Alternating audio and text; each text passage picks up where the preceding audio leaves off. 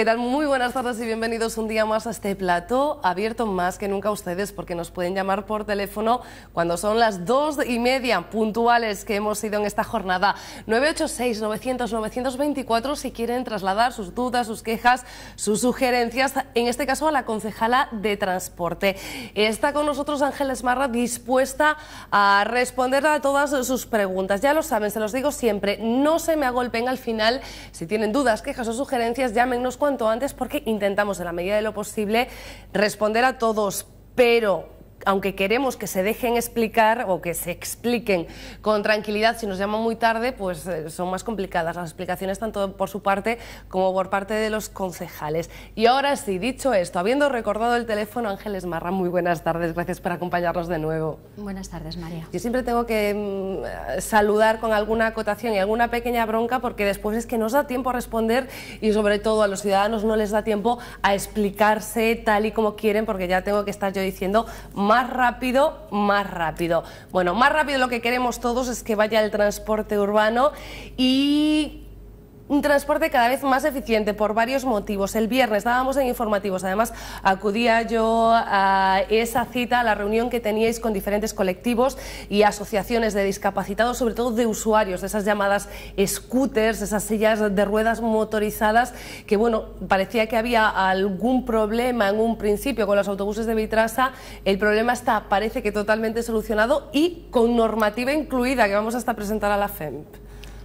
Bien, sí. Eh, a ver, la normativa no está incluida porque, a ver, eh, lo que tenemos es un vacío legal en estos momentos para que los scooters puedan subir a los autobuses. ¿Qué vamos a hacer desde el Concello? Pues lo que estamos trabajando es en una instrucción con el objetivo de que con esa instrucción sí que estos vehículos, estos vehículos, los scooters en concreto, con un determinado tamaño y una determinada dimensión, peso, puedan encajar en el lugar que tienen eh, destinado los autobuses para, las personas que tienen discapacidad. Entonces, ¿qué hemos hecho el viernes? Pues nos hemos reunido en concreto pues, con Kogami, con APAN y con este colectivo de scooters y les hemos avanzado qué es lo que tenemos previsto desde el Concello, porque también es importante recordar de que no hay ninguna normativa que permita a estos vehículos eh, con toda la seguridad que puedan entrar en el autobús. Entonces nosotros, por nuestra parte, por parte del Concello, vamos a trabajar en esta línea, en el sentido de ir con una instrucción que permita con toda la seguridad que estos scooters puedan subir al autobús. No solamente seguridad para las personas que utilizan el scooter, sino sobre todo seguridad para todas las personas que utilizan el autobús. Entonces, ¿qué, qué es lo que estamos haciendo? Bien, pues lo que estamos haciendo es, primeramente, trabajar en la instrucción, y en que era lo que yo llamaba normativa, ¿no? La, instrucción. Sí, pero bueno, es una normativa por parte del Concello que el alcalde, esto sí es importante recordarlo, piensa trasladar a la FEM, es decir, llevarlo a la FEM, con el objetivo de que aquí ya todos los municipios puedan utilizar también una, una instrucción que permita que estos scooters puedan subir con toda la seguridad a los autobuses y yo creo que también para ir más allá, es decir, para reclamar al Gobierno, al Gobierno de España, el nuevo Gobierno, que sí que trabaje ya en una normativa que garantice la máxima seguridad para que estas personas que sí tienen problemas, dificultades de movilidad y que por lo tanto no utilizan sillas de ruedas, pero sí utilizan estos vehículos, puedan subir con toda la seguridad y con todas las garantías en los autobuses. Entonces, ¿en qué estamos trabajando? Pues en estos momentos lo que estamos es solicitando a todas aquellas personas que tienen un scooter y que quieran subir en el autobús, lo que vamos a hacer es eh, unas eh, prácticas, entre comillas prácticas, para que puedan eh, con todas las garantías subir al autobús. Porque no es fácil, de hecho hicimos una primera prueba en el, en el, Vitrasa y bueno, pues la verdad es que las personas, las personas que utilizaban los scooters, pues tenían problemas a la hora de cómo moverse, cómo girar en el autobús, sí, en el interior del autobús y cómo colocarse en el sitio que tienen ya destinado dentro del autobús para los scooters. Por lo tanto, el objetivo siempre es máxima seguridad, entonces vamos a trabajar en esa línea, en la línea de que sí se les dé unas prácticas y a partir de ahí que, bueno, que ellos ya sepan cómo tienen que moverse dentro del autobús y dónde colocarse. A partir de ahí tendrán unos anclajes para ir sujetos y en esa línea estamos avanzando. Pero sí, el objetivo es eh, garantizar siempre máxima seguridad y después que todas las personas puedan eh, accesibilidad total en los autobuses de Vitrasa. Si te parece, vamos a avanzar en el programa y lo vamos a hacer respondiendo a llamadas, porque igual que yo les pido que llamen temprano, intento no hacerles esperar, aunque estemos respondiendo alguna pregunta. Lito, buenas tardes. Buenas tardes. Aquí sí que hay playa, por lo que te estoy viendo, ¿eh? Hay playa, ¿eh? Aquí. ¡Ey! Se, se me nota morena, Lito. Claro, caray, se nota morena. Tienes un color de multimillonaria. Ojalá, ojalá fuera así. De sana, que es lo importante. Te queda muy bien, además, te favorece Cuéntanos. mucho. Más no, ¿eh? Si no, ya es muy feo más. Mire, que dice una cosa. Quiero decir a la señora concejala que de pena lo de Vitrasa, ¿eh? De pena. Y lo malo es que no hay, que aquí no hay competencia. Tiene que haber un metro ligero o competencia. Un domingo, un domingo para ir a San Miguel 15 de hora en hora. Eh, por aquí, yo vivo en Martínez Garrido, para ir al hospital El Laberinto, uno que hay allá en Beade, que le llamo El Laberinto, pues un laberinto aquello, a las 8 de la mañana no hay vitrasa. Tengo el médico a las 9 y resulta que no hay vitrasa. Tengo que coger, desplazarme al infierno a coger un autobús.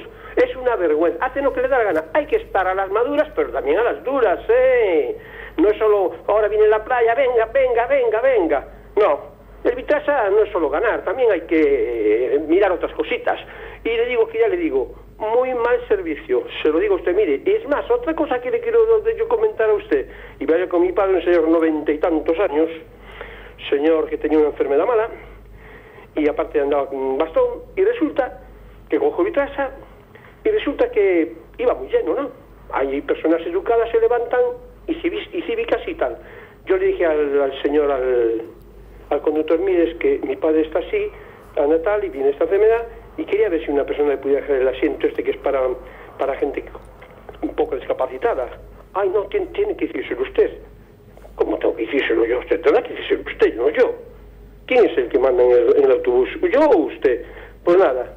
Eh, al final que tuvo que ir a pie el pobre como pudo, una enfermedad mala, un señor de noventa y tantos años, y que, que él me dijo a mí que él que no tenía responsabilidad ninguna sobre eso, que tenía que decírselo yo. No, tiene que decírselo él, que es el que conduce el autobús y es el- en ese momento es el que manda en el autobús.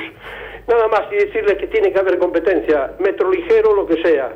No se le puede dar todas las habichuelas a estos señores. Mucha competencia, que es lo bonito, como en comercios y como en supermercados y como en todo. Muchas gracias y buenas tardes. Que Un abrazo, Lito. Ojalá tuviéramos un metro ligero. Ojalá.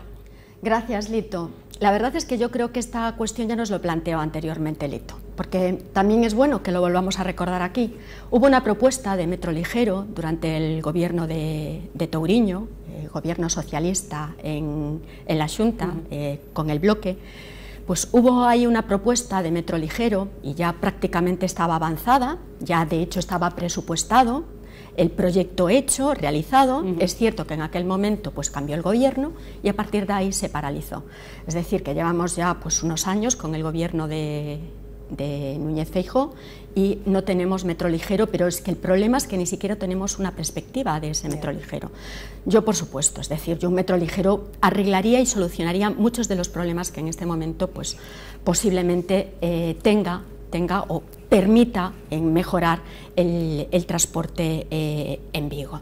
En cuanto al transporte al hospital, a ver, eh, tenemos, porque también os lo comentaba Lito, el transporte que tenemos, el transporte urbano. Bueno, también creo que lo comentamos, lo venimos hablando de cuáles son las líneas que tenemos. La idea siempre fue tener inicialmente unas lanzaderas desde Plaza América, y vuelvo aquí a recordarlo porque parece que es reiterativo. Estas líneas en torno a 10 minutos, un cuarto de hora tendrían que salir de Plaza América. Después estas líneas ampliaron, la H1, H2, la 12B y la 6. Bien, estas líneas prestan servicios desde primera hora de la mañana. Quiero recordar, por ejemplo, que las H2, desde las 7 de la mañana, 6 menos algo de la mañana, incluso van más allá, no solamente salen desde Llorones, salen desde Sanjurjo Badía, para también llevar a los trabajadores, a los trabajadores del hospital, al Álvaro Cunqueiro, al hospital de Beade Valladares. Y después, eh, cada 15 minutos, 10 minutos, 15 minutos están recorriendo pues, eh, desde Plaza América hasta el, el hospital. Por lo tanto, tenemos, en mi opinión, un muy buen servicio, un muy buen servicio. Y lo vemos, reitero, en el número de personas que cada día utilizan estes- estos autobuses. ¿Que es posible mejorarlo? Pues sí, pues sí, y en eso estamos trabajando. Estamos trabajando en qué línea? Pues mira, por ejemplo, la 27, que ya hemos puesto eh, en esta semana como una prueba, algo experimental también, eh, un servicio a la primera hora de la mañana, porque nos lo pedían, es decir, hay personas que tienen que hacer análisis de sangre y por lo tanto veíamos que, bueno, BEAD está muy lejos y que era fácil, era sencillo en la medida en que la línea 27, eh, que, está, que pasa muy próxima a, en Ramiro Pascual, por lo tanto puede fácilmente desviarse y llegar al hospital y por lo tanto que pudieran ir directos desde Beade, perdón, desde Candeán, desde Candeán, que es la 27, hace el trayecto desde Candeán hasta Beade y por lo tanto cuando viene de Candeán pudiesen ir recogiendo por todo Vigo eh, la 27, de hecho, pasa por el centro, desde Camelias, nuevamente pasa por eh, Plaza América, eh, Clara Campo Amor y después iría hasta Beade. Bueno, pues en Ramiro Pascual pudiera desviarse, y es lo que estamos haciendo ahora, primera hora de la mañana, para que puedan los ciudadanos estar a las 8 de la mañana en el Álvaro Cunqueiro. Empezó a funcionar esta semana, yo creo que va bien, yo creo que va bien. He pedido datos, bueno, ahora aún está, hay poco conocimiento, se puso en funcionamiento el lunes, pero creo que bueno, que cuatro o cinco personas ya lo tenía a esa hora y por lo tanto eh, en esa línea estamos trabajando. Estamos trabajando también en otra línea de ampliar la que va, la línea 8 que está en Sanjurjo Badía, pero también tenemos un problema y es un problema es el poder circular dentro de lo que es el hospital, porque muchas veces los autobuses se encuentran con el problema de que no giran, no dan la vuelta, se, producen atascos, los coches invaden calzadas, los giros no pueden realizarlos. Y bueno, la verdad es que es un poco caos, un poco eh, difícil para ellos el poder circular por ahí. Por lo tanto, por nuestra parte, yo creo que estamos trabajando en una buena dirección y después siempre procurando en todo momento mejorar el servicio. Después, hablaba de civismo. Pues la verdad, yo creo que sí. Es sumamente fundamental el que, bueno, que si vemos que una persona mayor eh, pues, eh, utiliza un autobús y que pues pues nada, que va de pie y que hay otras personas, sobre todo chicos que son jóvenes, que le pudieran prestar, dejar el, asiento, pues eso sería lo ideal. Y yo creo que el civismo es bueno en todo momento, y más, pues bueno, cuando se trata de personas mayores, que bueno, tienen ciertos problemas. gente cargada con niños. Por supuesto, es decir, que muchas veces nos encontramos que, bueno, que, bueno, los comportamientos no son los correctos, y yo creo que sí. Pero también es cierto una cuestión. A ver, eh, el conductor del autobús, porque hablaba también del conductor, el conductor del autobús no puede dejar el, asiento. En todo momento tiene que estar en el asiento. Entonces lo que tiene que hacer es controlar. Controlar desde el retrovisor, controla de cómo se coloca la gente, de cómo va situado los los, ciudadanos dentro del autobús, eso sí que lo hace, pero no se puede levantar.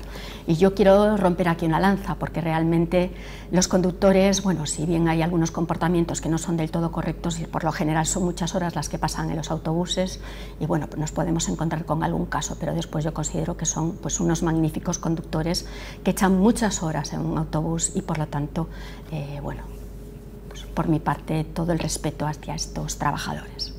Vamos a seguir respondiendo llamadas. Llevo un ratito esperando. Miguel Ángel, buenas tardes. Hola, buenas tardes, ¿qué tal? Lo escucha la concejala. Muy bien, buenas tardes, concejala. Buenas tardes. Mire, le quería, hacer una pregunta, porque donde yo vivo, la zona que yo vivo, aquí en Vigo, en la zona de lavadores, eh, pusieron una calle que cambiaron de sentido y aquí para los vecinos nos da un poco de trastorno, porque nos trastoca los planes a la hora de circular en ella. Eh, le, le, digo, es la rueda de Upanasco, está justo y se sitúa eh, viniendo de la iglesia de Santa Cristina, donde está, por casualidad, una, una nave del Concilio de Vigo, eh, que se cruza con la Rúa Santa Cristina, que es, si viene de la calle Ceboleira, es rúa ascendente hacia Cabral.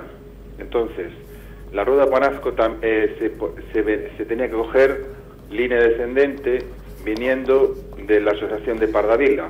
Entonces ahora lo que tenemos, los que vivimos por aquí, por la zona de la calle Curros y donde está el colegio Losada, sí, eh, bajamos por una calle y enlazamos con la Rúa de Panasco, que da justo a la calle Ceboleira.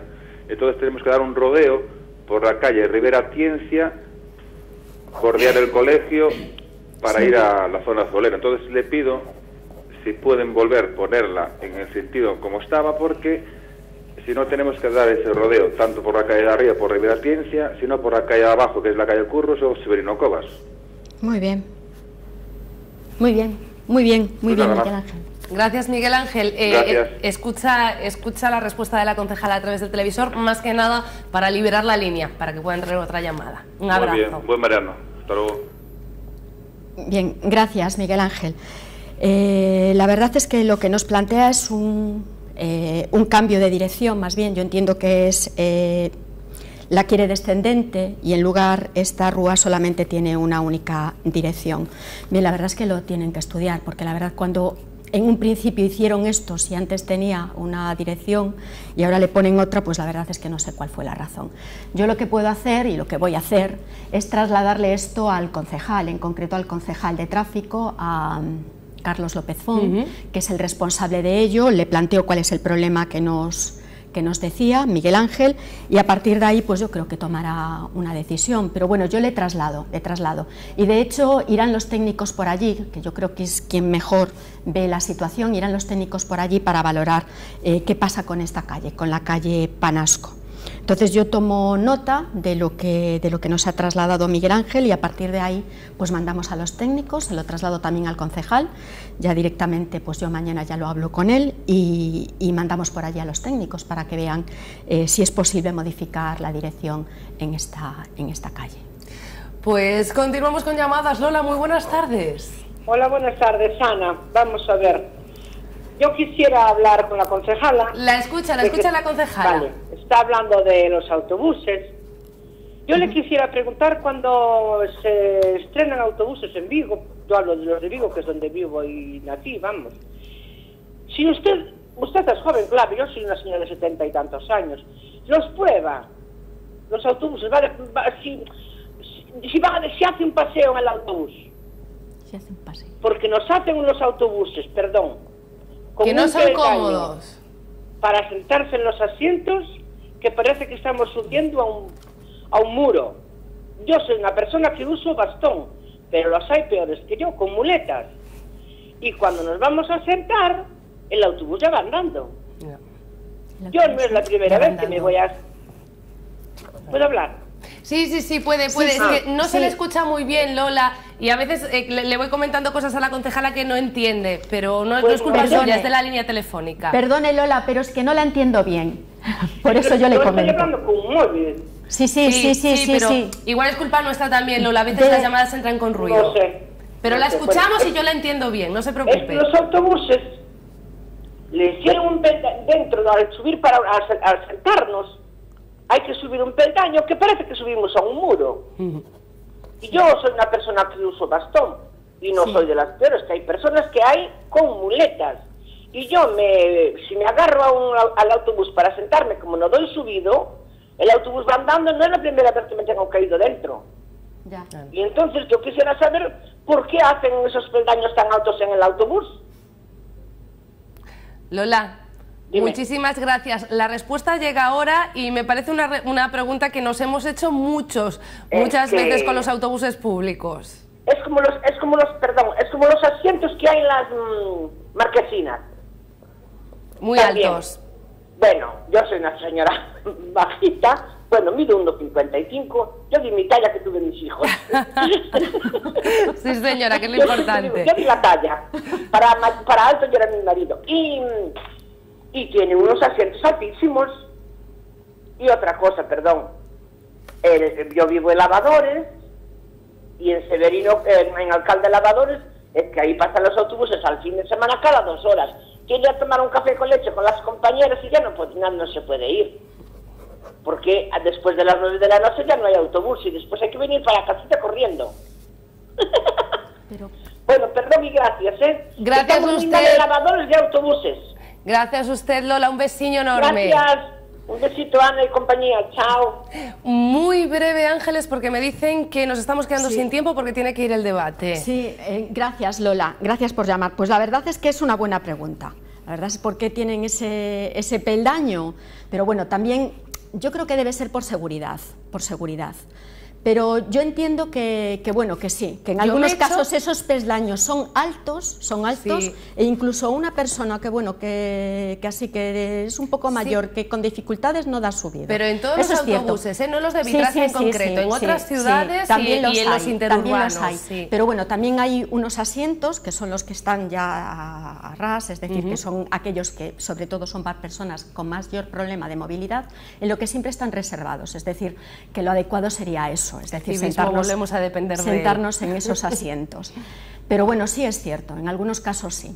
Pero también es, una, también es importante señalar una cosa, es decir, estamos modificando también lo que son, están renovando los, las líneas, los autobuses, de hecho ahora los que vienen nuevos, este año va a venir una nueva, creo que en torno a 11 nuevos autobuses, y esos autobuses yo creo que ya son más fáciles a la hora de poder subirnos en ellos, pero es cierto que algunos de los autobuses que son antiguos, pues tienen algunos pedaños que son altos y por lo tanto hay cierta dificultad a la hora de poder subirnos.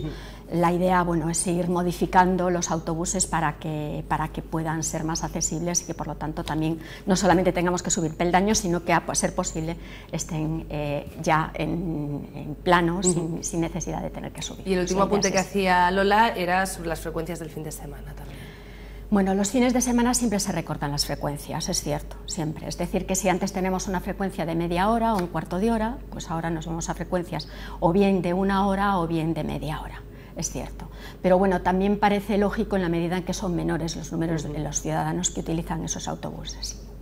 Entonces, bueno, y que tenemos también más disponibilidad a la hora de tiempo de poder, bueno, de poder, eh, no vamos tan deprisa como podemos hacerlo en el caso de la semana. Por lo tanto, sí, pero tomo nota, tomo nota para que los futuros autobuses sean más fáciles movernos por ello y que por lo tanto podamos no tener escalones, sino que a ser posible que sean completamente llanos. Señor Ángeles Marra, concejala del Ayuntamiento de Vigo, muchísimas gracias por haber estado un día más aquí. Y a los espectadores mis disculpas porque la campaña electoral ya lo ven, nos trastocan hasta nosotros. Tenemos a los contertulios, a los debatientes, a los candidatos ya fuera del estudio. Debate, nada, en unos minutos en directo en tele y en radio. Lo pueden seguir a través, lo podrán seguir a través de Radio Vigo también, lo que nos invita a marcharnos un poquito más temprano hoy, pero no se preocupen porque mañana estaremos e intentaremos recuperar algo de tiempo. Los espero aquí mañana a las dos y media. No se vayan, que tenemos debate en local. Un beso.